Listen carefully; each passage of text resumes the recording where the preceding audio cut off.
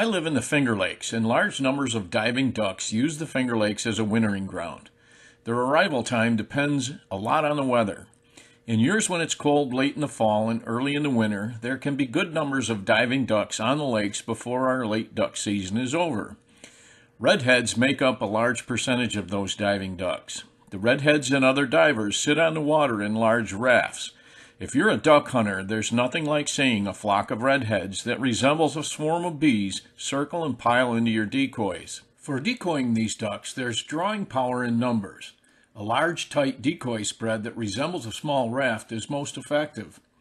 I use decoys on multiple long lines to try and mimic that look. I make up my long lines to accept 12 to 15 decoys each. I wanted to try bagging redheads over a spread that included some homemade decoys.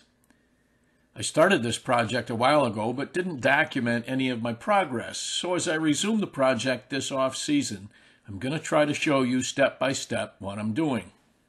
I needed a plan, so I did some looking. I didn't find a redhead plan specifically, but what I found was a plan for working bluebill decoys, and I figured I could use that with some minor modifications. Here's the plan. It has a good side profile view, a bottom view, and several head shapes including a dabbler head, a low head, a preener head, and a standard head.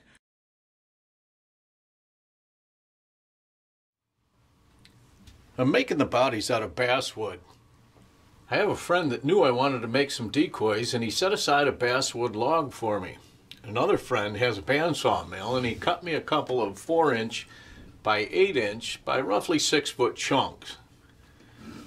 The basswood will be easy to work with overall, easy to cut, shape, and sand, but one drawback will be unless I hollow the decoys out, they're going to be heavy.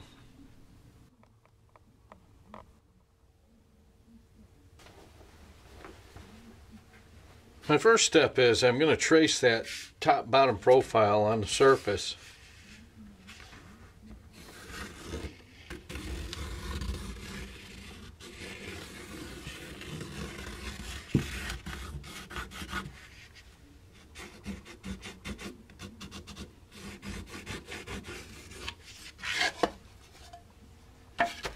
Now I'm going to take that to the bandsaw and I'm going to cut that profile out.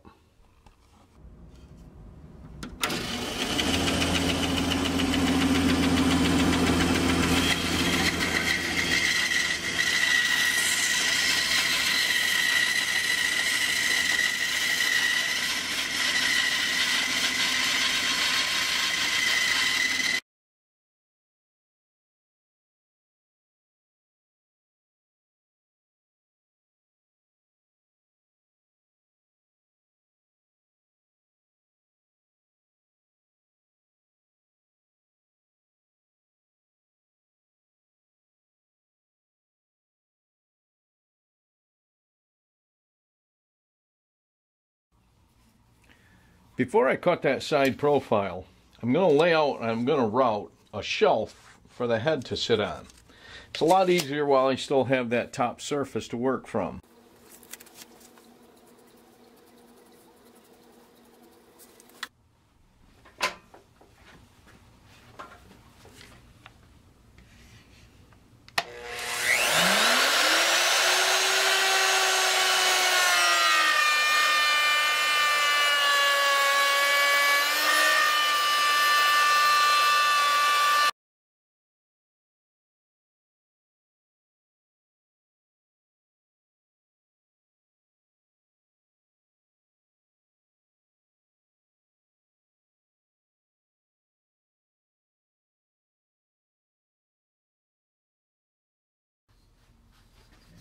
That shelf will be for an eventual head to sit on.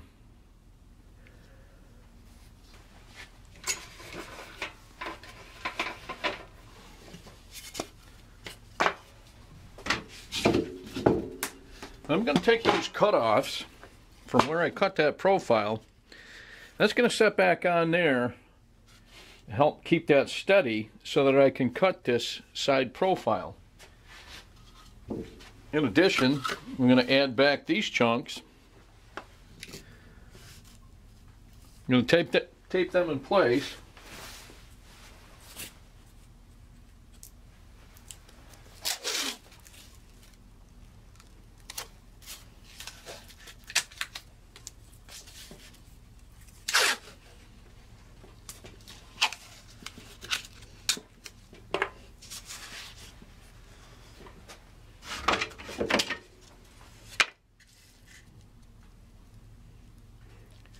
I'm going to trace that side profile on there.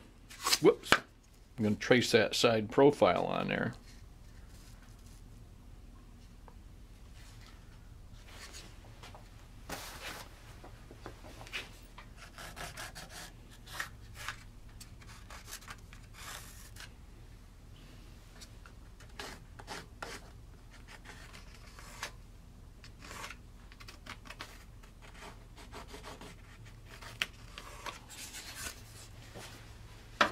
And I'm going to cut that out on a bandsaw.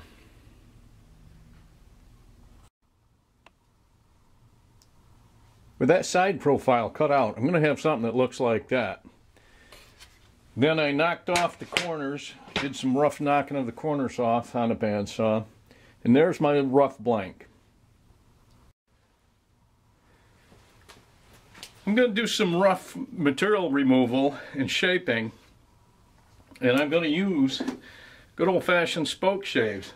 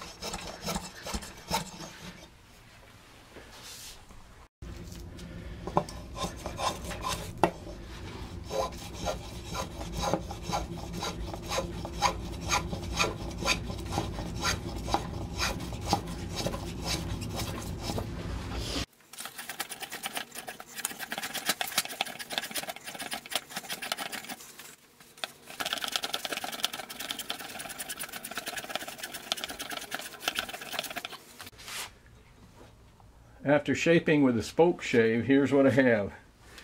Now I'm going to use a Dremel tool. I'm going to use a Dremel tool and I'm going to remove some material as well.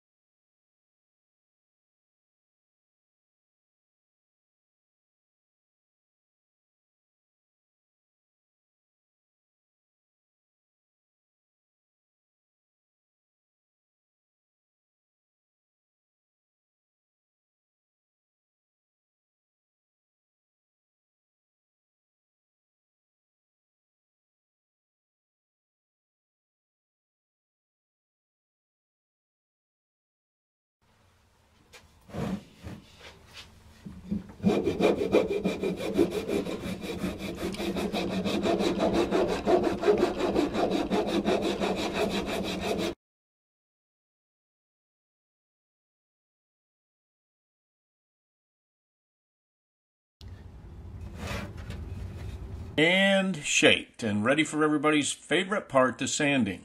You have to keep in mind they're gunning decoys and it doesn't require a showpiece quality sanding.